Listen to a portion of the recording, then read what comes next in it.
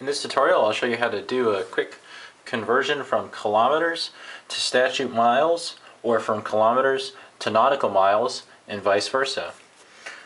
All you have to do is find on the inside rotating scale a little tick mark which has the letters km for kilometer next to it beside the number 12. You can rotate the inner scale until it lines up with the statute mile arrow which is located next to the number 76. And when we do this,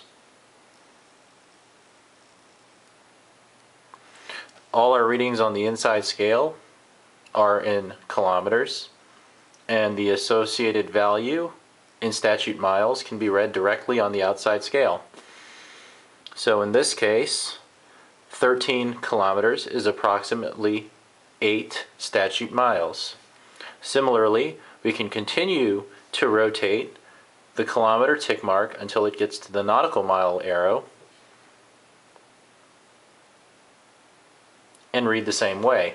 In this case, 14.9 kilometers is equivalent to 8 nautical miles.